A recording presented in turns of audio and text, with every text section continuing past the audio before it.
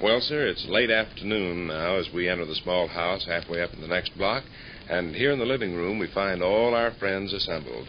Vic and Sade are standing beside the library table discussing a matter which is apparently sharply controversial. Young Rush lounges in the Davenport listening with interest. And at the moment, the master of the menage is saying, Holy smoke, Sade, the thing is ridiculous. Well, I don't see why you say that. You'll save all that train fare, you'll ride to Chicago free, and you'll have oceans of fun. Where does the doggone fun come in? Why, if I've heard you once, I've heard you a thousand times remark to Mr. Donahue you're just dying to ride in the cab of a locomotive. Sure, but I'm going to Chicago on business. Mr. Buller is meeting me at the station, and so is Ralph K. Weechel, a big shot Kitchenware executive from New York. How will I look climbing down off the tender, black, dirty, and worn out? They'll think I stole a ride. Well, Mr. Donahue. And on top of that, I'd have to stand up all the way. There's only two seats in a locomotive one for the fireman and one for the engineer. Chicago's a 140 miles away. Think I want to stand on my feet for a 140 miles? Well, I'd be a wreck. Well, Mr. And on top of that, it's against the rules for Donahue to let me ride in the locomotive. He's sticking his neck out. Why, great guns, he's liable to lose his job. No, I don't think so. He's taken all kinds of precautions. He How'd said you he- get me in for this nonsense to begin with? Now, listen, Vic. Don't you jump down my collar. Thunder. I wish it was me going to Chicago in the engine. So do I. They say the doggone engine dances around on the railroad tracks like a whirling dervish. You bounce up and down and teeter sideways and have to grab onto something to keep from falling out. Kiddo, am I really stuck for this? Yes, I guess you are. I told Mr. Donahue you'd follow directions and be at the water tower outside of town. Lands, I thought you'd kick your heels with joy. You've talked so much about wanting to ride in the locomotive cab.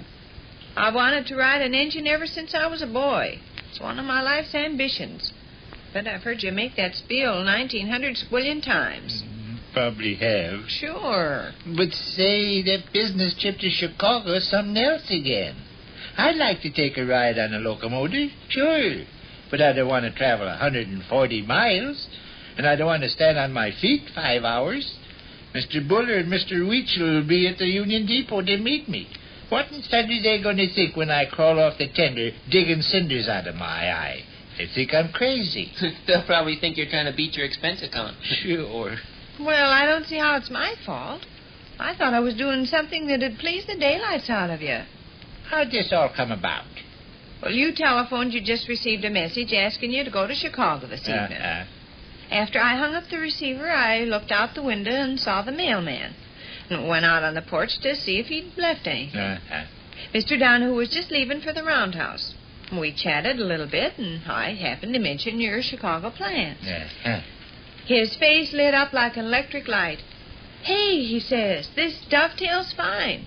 Vic's been hounding me for years to give him a ride in the engine. I don't see why I can't come through and make good. Tell him to be at the water tower at the north end of the yards at 20 minutes past five. What's the idea of that? Train stops for water and you'll have a chance to climb in the locomotive. Well, Or can I catch the half-wit train at the station? Or the roundhouse? Against the rules. yeah. You mean I got a sneak on? Well, it amounts to that, I guess. See, Gov, the railroad's got several detectives hanging around watching, and if they locate any hobos attempting to hook a free ride, they grab I'm not going to involve myself in any such a crazy business, say. Well, Mr. Donahue says there's absolutely no risk. He's got considerable authority nowadays, you know. He's traveling inspector of locomotives. is this water tower place? I don't know. Thought you did. I haven't the slightest idea. I know where it is. Where? Extreme north end of the yards. You know where Harry Hunter's farm is, don't you? Uh, Well, the water tower is half a mile north of Harry Hunter's farm. well, how in thunder would I get there? Take the Park Street streetcar to the end of the line. Well, I'd still be three miles from Harry Hunter's farm. Near four. I'd have to walk? I guess you would. No, sir, by George. Well, don't glare at me. I thought Look, I was. I'd have to carry my suitcase almost five miles up the railroad track. Then I'd have to sneak into the half-wit locomotive like a hobo. Why, some detective might shoot me. Well, I doubt if Mr. Donahue would expose you to any such dangers. He assured me. I'd have to me. stand on my feet in a rocking, swaying, bouncing engine for five hours while I traveled 140 miles. I get black as a cannibal from smoke and dirt and soot and dust. Finally, I'd arrived at the Chicago Union Station and climb off a pile of coal, digging cinders out of my eyes and ears, and cordially greet the two big shot Kitchenware executives, who would no doubt hire me on the spot. Well, if you don't care to take advantage No, of... sir, by George. I certainly love to have the opportunity. No, sir, by George. Look at the lovely money you'd save. What lovely money. Well, don't railroad tickets to Chicago run pretty close to seven dollars? We're not so rich we can sneeze at seven dollars. I wouldn't be saving seven dollars. You would too. Mr. Donahue's not going to charge you a No, penny. Sade, I'm on an expense account. The company pays for the transportation. Well, sure, but you'd be entitled. no, kiddo, the whole thing's out of the question. Well, you're the party to decide. I know one thing, though. Mr. Donahue's going to be good and offended. Why? Why, simply because you've been hounding him year after year after year to give you a ride in his engine cab. And when he finally fixes it up, you back down. I've certainly got plenty of reasons for backing down, haven't I? No, I'd enjoy a spin in his engine cab. I'd love that. Say, a trip down to Funk's Grove or someplace. But holy smoke, I don't want to travel across the doggone continent. His face lit up like an electric light. He was pleased as could be. Tell the old boy to be at the water tower at 20 minutes past five, he says. I'll give him the time of his life. I'll give him a scoop and let him shovel a few tons of coal. Now, wouldn't that be fine? Remember, I'm going to have on my best clothes. Well, I'm not urging you to go. Forget it. Only thing is, I know Mr. Donahue will be good Cell enough phone's to- ringing. Answered. Probably Milton Welch. He's got some trivial matter of importance to discuss. I'd be dead by the time we got to Joliet. Mm. Oh? Yes? Yes, I believe she is. Just one second.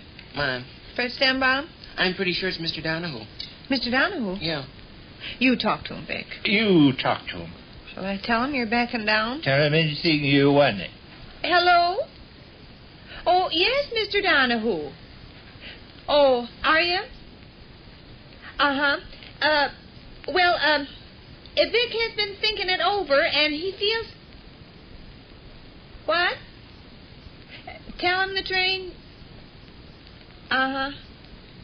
Well, uh... Ha-ha. Uh, uh, no danger, huh? Well, uh... All right. All right, I'll I'll tell him. A- All right, Mr. Donahue. Goodbye. Oh, Rick, he's so happy and enthusiastic, he's dancing the jig. Says he's going to give you a real treat.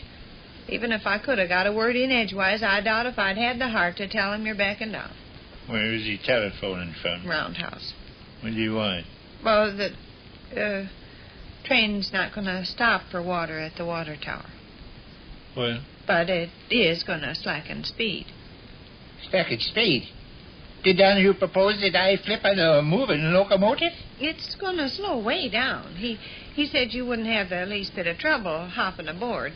He suggested you toss him your suitcase while you're running down the railroad tracks, and if it looks like you're going to slip and fall, a fireman or somebody'd be ready to grab you by the My arms. heavens, Sade. Well, not a speck of Would danger, you actually he let said. your husband undertake such a wild... Telephone's ringing. That's Milton Welch. Answered. I'm in a cold perspiration just thinking to myself running down that railroad track, throwing my suitcase on a moving train. Hello? Yes? Yes, I believe she is. Miss Donahue. Miss Donahue, this trip, huh? Yeah. All right. Mm. Uh, hello there. Uh, lunch? Uh, why, uh, I guess he won't require any lunch, Miss Donahue. No, he decided he'd better ride in the chair car. Yes, he's sorry to miss out on the lovely locomotive, but he feels. Yes. Yes. All right, Miss Donahue. All right. Goodbye. What'd she want? Offered to put you up a lunch for your engine trip. Hmm. You could throw your lunch to the engineer while you're running along the railroad tracks, Kyle. Throw your lunch to the engineer, your suitcase to the fireman, and then make a desperate leap, hoping and praying your feet don't slip on the slippery steps and Don't side saddle. I'm dizzy as it is. It'll be a long, cold day before Mr. Donahue offers to do you another favor, I'll bet. Uh, He'll be good and offended by this. paperweight old stone, Bruce. Yeah? Will you bring Papa a glass of cold water? Which concludes another brief interlude at the small house halfway up in the next block.